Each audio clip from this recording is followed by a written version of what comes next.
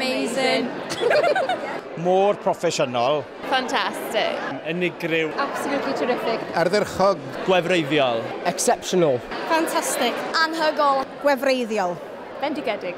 Gwych yn gyrru oedd e? O, ardderchog. Mae'r sioe wedi cael ei wneud dros y byd i gyd mewn sawl gwahanol iaith, felly pam ddim wneud e'n Gymraeg y fe? It just shows that it's just as good in any language, doesn't matter what it is. O'n i yn y West End bythefnos nôl yn gweld The a dwi'n meddwl bod hwnnw well. Mae'n adio lot fwy o ran diwylliant Cymraeg. Cymru fach yn gallu creu rhywbeth arbennig ynde, chi, ac mae ma, ma, ma, henod i bod yn dystiolaeth o hynny.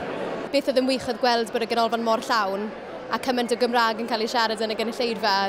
Fi'n meddwl bod e'n profiad anhygoel gallu perfformio yn enwedig yn y Gymraeg a mewn canolfan y Millennium Cymru sy'n mor iconic hefyd. Wel, mae'n dda i, i hybyr iaith Cymraeg hefyd, a hefyd yma yn y canolfan Millennium Bid yn prif ddinas Caer, Caerdydd yn Cymru, a i ddenu bobl Cymru Cymraeg a'r di Gymraeg i fan hyn yn gwych, dwi'n meddwl, so da iawn.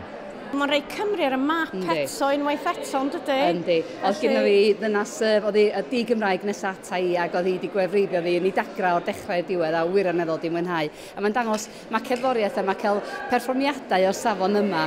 Does dim ots beth i'r iaith, mae pawb yn gallu uniaethu hefo fo, a mae o'n wych.